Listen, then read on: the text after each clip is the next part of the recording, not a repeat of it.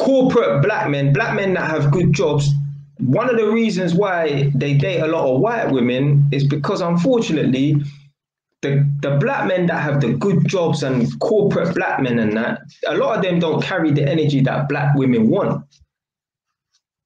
Adding the fact that if you got a black man who has a corporate job, think about it this way: you got a black man, he has a corporate job. He lives in London, but he has a corporate job. He works in the city. Well, 90% of the people them that work in the city ain't well, 95% of the people them that work in the city ain't gonna be black. So the chances of him even interacting with a black woman to hook up with a black woman is gonna be slim.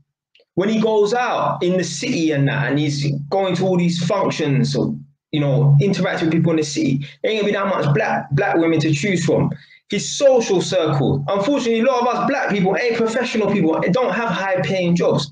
So there's gonna be less and less black women for him to interact with. So I think that's partly why a lot of black men who have corporate jobs and, and are professional black men, they don't they don't pair up with black women because they're just they're even that much black women for, for them to pair up with. Because think about it this way: if a man's a high earner and he's a decent quality man, why is he gonna want to pair up with some ratchet ass black girl? I'm not saying all black girls are ratchet. You got some good ones, you got some bad ones, but there's a lot of ratchet ass black women. A man, a man who's doing well for himself, he don't want no ratchet ass black woman telling him what to do and that and trying to run his money and that. Nah, nah, man. Nah. But the celebs thing, that's a difficult one. Yeah, man, that's a difficult one. Maybe the same thing with the celebs thing. Why, why, why a lot of black celebrities um, hook up with um, white women? It's just the places that they go them man they might just be in them prestigious clubs and that. And unfortunately, maybe the black women aren't in them prestigious prestigious um, club. Maybe the black women are too hood for them. Maybe the maybe the black women ain't submissive enough for them. Or maybe the man them ain't, ma- ain't manly enough to make the woman submit. That might be another thing as well. There's, there's a lot of things that go into it. But definitely, who you hang around with, what certain, certain uh, sort of places you go to. Unfortunately, a lot of black women, a lot of us black people come from, you know, the working class and that. So we were even going to be at these upper class prestigious events for them man there to even interact with. I know, it's a difficult one, isn't it? There's a lot of factors. Successful black men a, a, lot of black people ain't successful. So, you know, if you're going to attract people within your circle and that, well, unfortunately, you ain't got much black people to pick from. Remember, it's a numbers game. You might get 10 girls' numbers. You might go out, get out on a date with four of them. You might sleep with one or two of them. It's a numbers game. It's a numbers game. And if you've got less numbers to work with, then the chances of you hooking up with a black girl and that and it working is slim to none.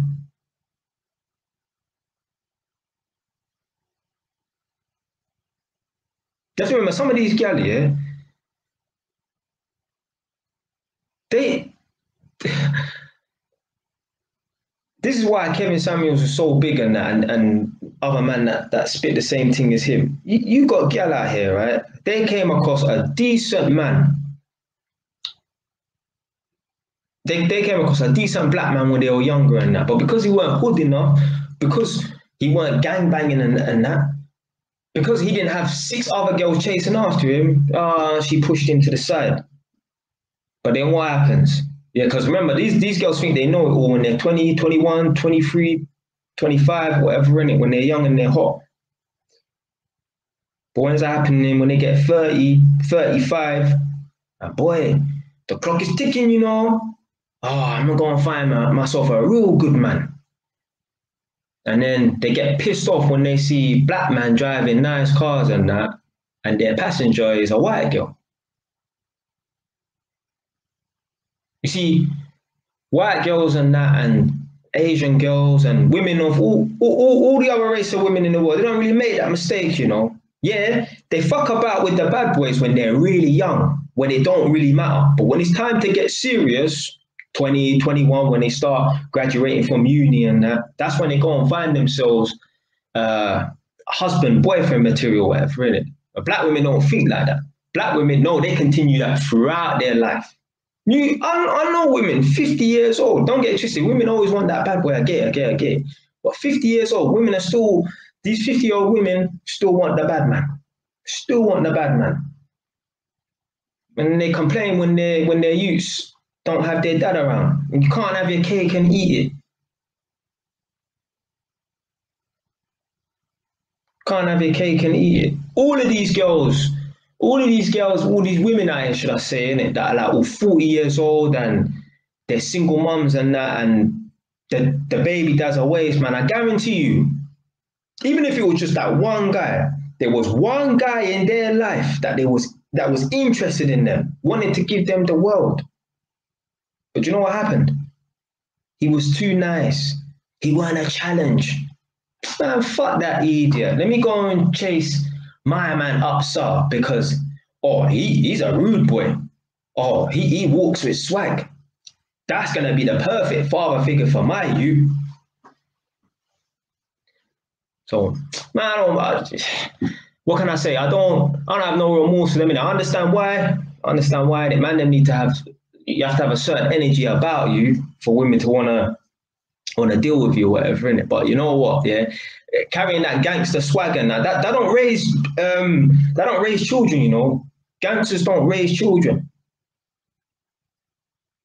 Tell you what will happen if you if you date a gangster. My man will be in jail and your you will be visiting his dad. Imagine going to visit your dad in prison. That's mad. That's mad.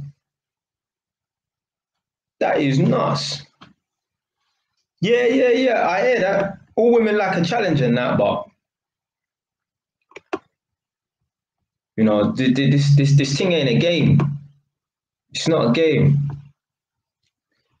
Women are only gonna come across a handful of men that are actually good suitors.